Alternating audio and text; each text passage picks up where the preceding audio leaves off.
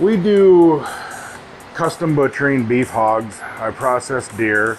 We are retail exempt where, you know, we have retail stuff here. Most of the stuff I deal with is frozen. Uh, we do also provide catering for different events. So there's a vast majority of things I do.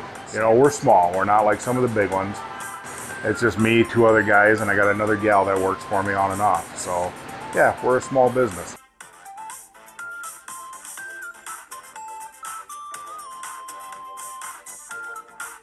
Cut wise, I offer about anything that the grocery stores do.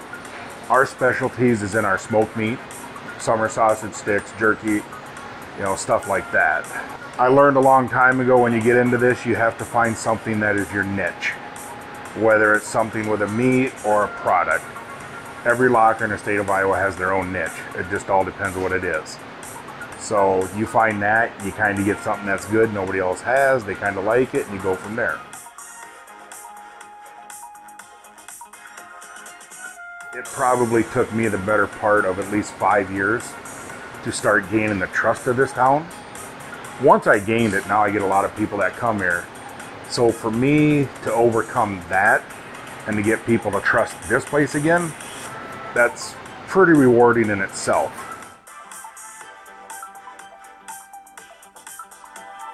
For me, I just want people to know we still do butchering and custom beef and hogs.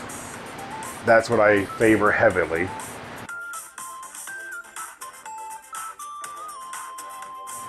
You know, I like people just to come in. You know, you get somebody to walk in, whether they buy one thing or two things, you've made a goal.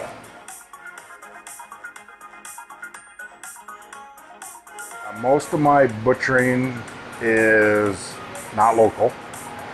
A lot of my crowd pull is I get people from Grundy Center, I get people all the way up past Clear Lake, I get people south of Iowa City, I mean, I have people come from Marshtown, people from Des Moines, yeah, all over the state. I was 14, I think, when I started doing this. So the guy that used to own Frederika, Bill Ort, he's the one that actually got me started. Because our family has a fishing resort in Canada. So long story short, he was up there and he watched myself and my brothers how we ran flay knives. So when we got home that fall, he said, hey, you guys want to bone deer for us? None of us thought twice about it. My brothers and stuff said, yeah, why not? That's how I got started. You know, it's funny, when I started this, I had a couple different people tell me 18 months I'd be done. They flat out said I wouldn't make two years. So I'm still here after 12.